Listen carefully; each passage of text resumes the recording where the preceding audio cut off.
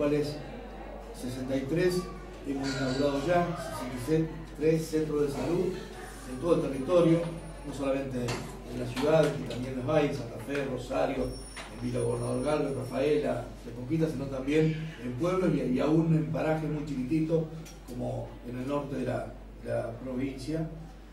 La idea de estos 63 más los que estamos construyendo, que van a ser un total de 80, conforman una red de salud que es una de nuestras banderas como gobierno, junto con los hospitales de mediana y alta complejidad.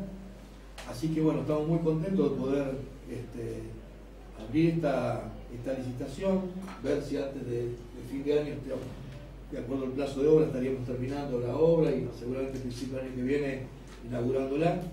Este, así que nada más vamos a abrir los sobres y bueno, muchas gracias. ¿eh?